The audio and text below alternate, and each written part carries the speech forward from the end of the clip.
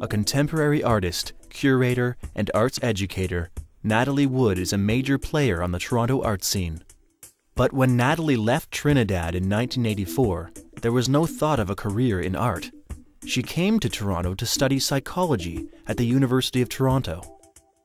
Although she was a highly creative child, her parents expected her to keep art as a hobby, not a profession. When she received her degree in psychology, Natalie started her career in social work. Ironically, a friend gave her a paint set, and she started taking art courses for fun, never realizing the major shift that was to come.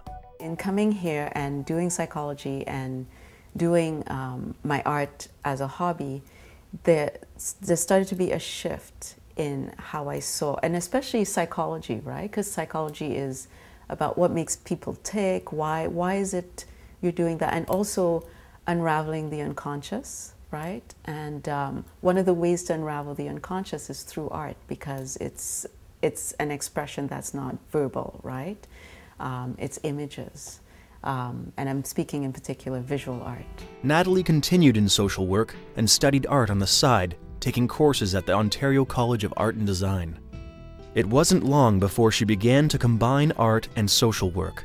Natalie created an art group for people with mental and cognitive disabilities, and then taught the group how to teach the concept to others. It was this project that formed her thesis for the master's degree in art education she received from the Ontario Institute for Studies in Education. Natalie's work brings together art and historical research and explores issues related to identity, marginalization, resistance, and representation.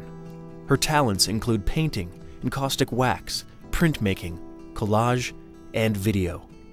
In my art, I I use a lot of history. I'm very much concerned with bringing to light things, events, or um, historical moments that have been erased or overlooked or um, kind of um, not focused upon. And in particular, moments in history related to Black experience and Black, black um, um, presence in Toronto, in Toronto itself and in Canada. Where I particularly connect with her work is when she explores issues of themes of African spirituality. Um, my favorite pieces that I have in my house is a piece she did about the area in, uh, at Oakwood and St. Clair.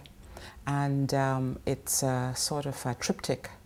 And one of them has to do with the First Nations um, people the second has to do with the Europeans, and the third uh, has to do with African people who lived in that area. You know, there's that statement if you don't know your history, you don't know your past, you don't know where you're going to, right? And so I, I feel strongly that part of what I'm doing in my art is addressing, addressing that, making sure that that history comes to light um, so that it could be shared with everyone um, and there, there then could be more of an integration into society of um, and Canadian society and communities. The Art Gallery of Ontario Community Art Project is an initiative created to give the AGO's surrounding community a voice and artistic outlet during the expansion. Natalie worked with a Cecil Community Youth Group to create artwork inspired by the research into the history of the neighborhood's streets a giant mural was created for the construction hoarding in Grange Park. Natalie's visual art has been exhibited in the Zsa Zsa Gallery, the John B. Aird Gallery, Harbourfront Community Gallery, Hart House, A Space Gallery, and the Spadina Museum, where she was an artist in residence. Her video work has been screened at film festivals in Toronto, New York, and San Francisco. The Locks Narratives, a video short, is part of a web art project called Kin Links, which is a faux corporation that does genetic testing on popular Western icons such as Mickey Mouse to locate their African ancestry. And I was shocked to find out that there was a, a black connection to Mickey Mouse. Mickey Mouse is black, right? A highly respected curator, she has arranged exhibitions at the Women's Art Resource Center Gallery and the A Space Gallery. Natalie has received awards from the Toronto Arts Council Ontario Arts Council, and the Canada Council for the Arts. She received the M. NourbeSe Philip Award for outstanding contributions to African arts and culture. With her MA in art education, Natalie also teaches art at schools, art centers, and health organizations in Toronto.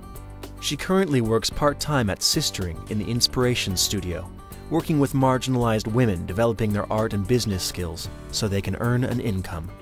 I think that she is um, very much a you know, well chosen person for an award like this because particularly when I think of what Canada says in terms of um, new, the more recent people who come here, which is that, or even those who have come before, that is that um, we continue those links and that helps to build a better country for all of us.